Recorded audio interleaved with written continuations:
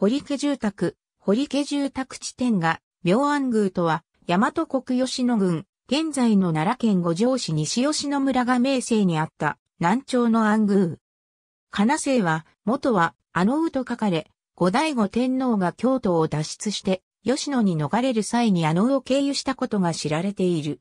昌平三年、昭和四年八月、高諸直率いる室町幕府軍に、吉野安宮を襲われた、小村上天皇が画名声に逃れて、安宮を定める。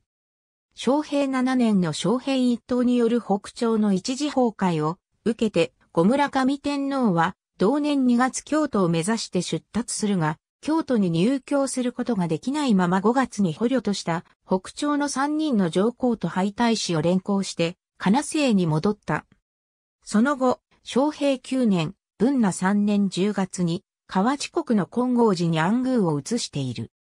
その後、長慶天皇、五亀山天皇期にも南朝の安宮が置かれていたことが知られ、昌平15年、延文3年には南朝内部の内紛から火災にあって消失したことが知られている。安宮の位置については、金瀬の足立区にある堀家の敷地に設けられたと伝えられているが、他にも様々な遺説が存在しており、確定には至っていない。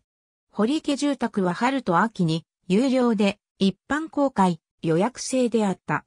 2019年3月、改装を経て、宿泊施設とレストラン、結婚式場として営業を開始した。ありがとうございます。